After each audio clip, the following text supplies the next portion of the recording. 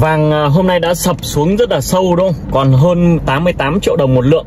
Và ngay cái video ngày uh, hôm uh, 10 tháng 5 Khi mà vàng lập đỉnh lên đến 8, 92 triệu đồng một lượng thì tôi đã nói rồi chỉ có người nghèo mới đi mua vàng. Còn người giàu người ta không bao giờ đi mua vàng. Người ta sẽ dùng ví dụ như lên đến 92 triệu đồng một lượng ấy thì người ta những người mà đủ 9 tỷ đúng không? Là 100 cây thì người ta sẽ đi mua bất động sản. Bởi vì bất động sản còn có thể là gửi cố ở trong ngân hàng được cầm cố ngân hàng được và có thể là sinh ra uh, dòng tiền đó hàng tháng.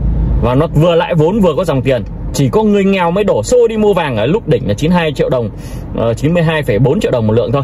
Còn người giàu ấy không bao giờ người ta đi mua vàng ở cái lúc mà nó quá cao như vậy đó khi mà vàng nó ở cái mức quá cao ấy thì cái sản cái số tiền bỏ ra sản xuất cái lượng vàng ấy thì đạt được cái một cái ngưỡng nào đấy rồi ví dụ như sản xuất một cái lượng vàng ở cái ngưỡng này. Nhưng mà khi mà giá vàng nó vượt lên ở cái mức cao hơn cái cái cái cái giá vàng uh, sản xuất thì đương nhiên rồi họ sẽ tăng cường sản xuất đó vàng để mà cung cấp ra ngoài thị trường. Giá vàng càng cao thì cái lượng uh, dư vàng lại càng nhiều. Nên anh em phải đặc biệt lưu ý.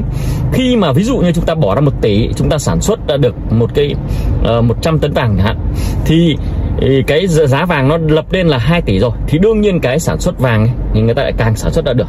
Đó vì vậy anh em đặc biệt lưu ý vàng nó vẫn là chỉ là hàng hóa. Còn bất động sản ấy chúng ta nên chọn những cái vị trí vàng. Được chưa? Vị trí có thể sinh ra dòng tiền. Cái lúc ngủ mà chúng ta có thể là là là là sinh ra tiền. Và các bạn biết là ví dụ chúng ta có 10 tỷ thì chúng ta có thể mua được một cái tài sản 20 tỷ. Vì vậy mà đồng tiền nó mất giá nhá.